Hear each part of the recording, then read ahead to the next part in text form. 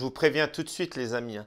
Mouillez-vous bien la nuque avant de commencer la vidéo parce que celle-là elle va piquer fort. Oh là, celle-là elle va piquer très fort. Salut les amis, c'est Luthor, j'espère que vous allez tous très bien. Regardez, je me suis enfin débarrassé de mon micro-casque. On a investi dans un micro-cravate, c'est bien mieux, je suis encore plus libre de mes mouvements et ça, génial. Alors aujourd'hui les gars, vidéo sur eFootball. Et comme je vous ai dit, préparez-vous parce que celle-là, elle va piquer fort. Elle va piquer fort le nez. Mouillez-vous la nuque, je vous l'ai déjà dit. Tous les lundis les gars, il y a la mise à jour sur eFootball. Il y a les nouveaux défis. Bon, encore une fois, toujours pareil, les mêmes défis. Défi 1, gagner un match. Défi 2, gagner deux matchs. Ça, j'ai plus rien à dire. Mais c'est pas tout. Parce qu'aujourd'hui, Konami, ils nous ont sorti une nouveauté, un questionnaire pour pouvoir faire des mises à jour suivant la vie des joueurs. Mais ça, les gars, c'est génial. On en parle tout de suite dans cette vidéo. Ça gueule trop sur les réseaux sociaux. Qu'est-ce qu'on peut faire? Oh putain, j'ai une idée, les gars. J'ai une idée. On va leur sortir un questionnaire. On va leur sortir un questionnaire, un questionnaire de 100 questions. Et comme ça, ils vont être contents, ils vont croire qu'on les écoute. Oh, c'est génie, c'est du génie, ça, c'est du génie. Un questionnaire, c'est parti.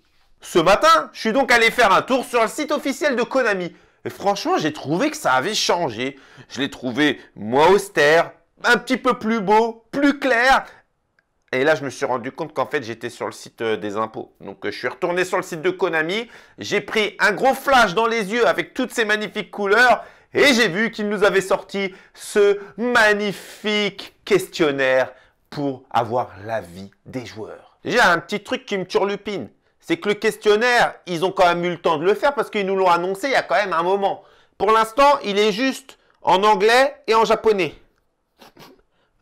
Je voudrais pas un petit peu de notre gueule. Deuxième chose, moi personnellement, qui me turlupine beaucoup les amis, c'est que vous allez me dire qu'ils ont besoin d'un commentaire pour corriger leur jeu. Vous allez me dire qu'ils se rendent pas compte de tous les défauts de leur jeu. Vous allez me dire qu'ils voient pas que leur jeu c'est de la merde et qu'il n'y a pas besoin d'avoir des commentaires de fans pour corriger ça. Bah oui, parce que c'est Konami. Konami, ils nous ont habitués tous les ans à nous sortir des questionnaires, on se demande encore à quoi ils servent. Parce que franchement, soit ils finissent directement à la poubelle,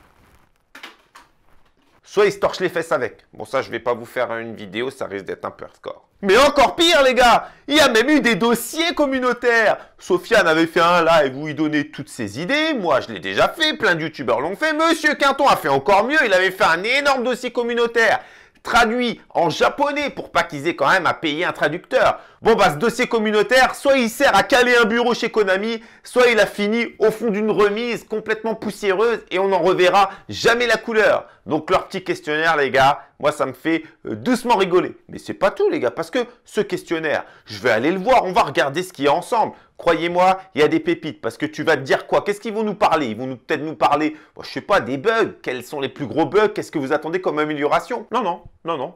Ils te posent ce genre de questions sur la première page. Êtes-vous satisfait de votre capacité à passer le ballon à votre cible? Comment évalueriez-vous la réponse du dribbleur lors d'un match hors ligne? Les joueurs qui ont des attributs de passe supérieurs sont nettement plus doués pour les passes que les joueurs ayant des attributs inférieurs.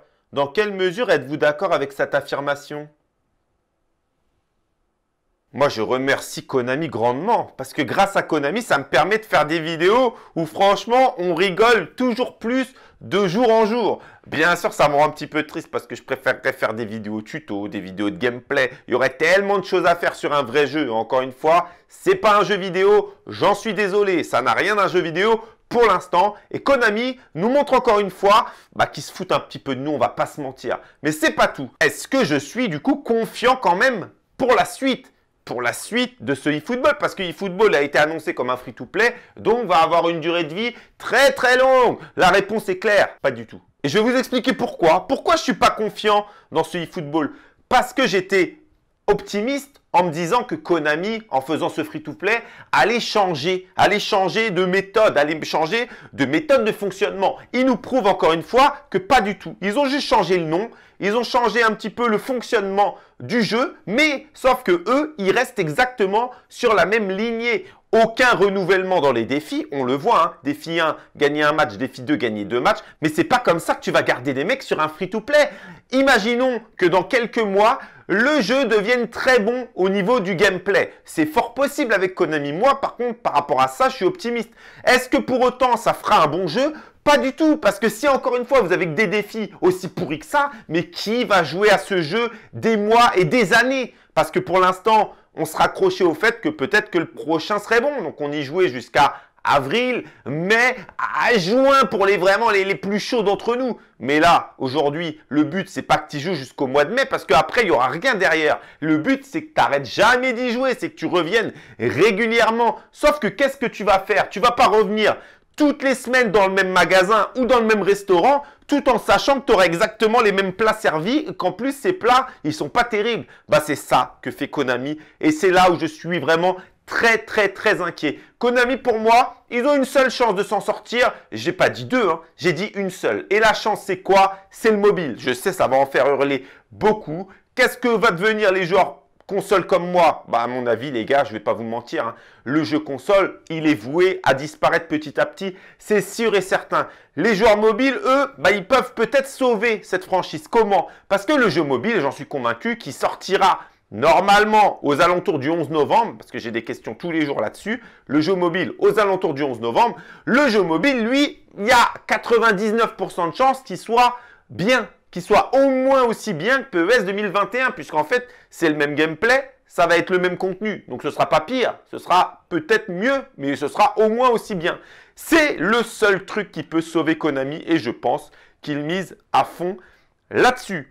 Encore une fois, c'est mon avis. Dites-moi ce que vous en pensez. Pour moi, le jeu, pour l'instant, n'est toujours pas jouable. On va attendre la prochaine petite mise à jour. Je vous répète que ce sera petite mise à jour qui sera la 0.9.1 qui arrivera début novembre. Donc on s'en rapproche. Est-ce que ce sera le 4 novembre? Il y a des rumeurs comme quoi cette mise à jour pourrait arriver le 4 novembre. Mais si elle arrive le 4 novembre, c'est sûr et certain que le 11 novembre, ce sera repoussé. Si elle arrive le 11 novembre, bon, bah, ça voudra tout dire. Voilà. En tout cas, encore une fois, il y a de grandes chances que ce soit repoussé. Vous allez être beaucoup à me dire, Luthor, moi j'ai testé le jeu aujourd'hui, je trouve qu'il va un peu plus vite, etc. Alors, c'est possible que vous le trouviez un petit peu plus fluide parce qu'il y a des mises à jour serveurs. Mais, mais, tant qu'il n'y a pas de vraie mise à jour, le gameplay, lui, ne peut pas changer en fait. Ça, c'est du sûr et du certain. Alors, il y a bien sûr un effet placebo, les gars, je ne vais pas vous mentir, ça existe aussi sur FIFA. Dès qu'il y a une mise à jour, il y a des mecs qui vont dire « Ah bah le jeu, il est devenu éclaté !» Alors qu'en fait, ça n'a rien changé. Et eh bien sur eFootball, j'ai l'impression qu'il y en a qu'on les fait inverse. Alors tant mieux pour vous, si vous kiffez, les gars, moi je respecte tout à fait votre avis. Et si vous kiffez, bah tant mieux. Moi, je suis très content. Le but, c'est de kiffer quoi qu'on fasse et tout ce qu'on fasse. Encore une fois, c'est que du jeu vidéo, c'est pas la vie. En tout cas, bah, c'était Luthor. J'espère que cette petite vidéo vous aura plu. Je vous fais des gros bisous. Ciao les mecs